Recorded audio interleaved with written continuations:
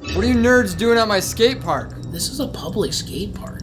It's a private skate park? Oh, no, no, no. Now get out of here before I make you regret every decision you ever made. It's cool, man. Yeah, we we didn't know. All right, we'll leave. No, no, no. Don't do that. Wait. I'm sorry, I didn't mean that. Huh? I don't have a dad. I don't have a dad either. Can we start over? Wait, you do have a dad. Well, yeah, man. I didn't do anything wrong. Later, bastard boy. It was in that moment where I found myself at a crossroads in life. I could either fix my trauma and become the man I wanted to be, or I could become a monster and destroy every person who ever made me feel. Hey, Dad, I'm home.